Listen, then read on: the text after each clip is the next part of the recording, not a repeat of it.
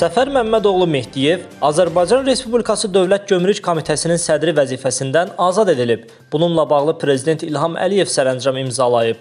Qeyd edək ki, Səfər Məmmədoğlu Mehdiyev 2004-cü ildən 2006-cı ilin fevral ayına qədər Azərbaycan Respublikası Dövlət Gömrük Komitəsinin sədri müavini, 2006-cı ilin fevral ayından Azərbaycan Respublikası Dövlət Gömrük Komitəsi sədrinin birinci müavini vəzifəsində xidmət etmişdir. O, 23 aprel 2018-ci ildən Azərbaycan Respublikası prezidentinin sərəncamı ilə Dövlət Gömrük Komitəsi sədri vəzifəsinə təyin edilmişdi.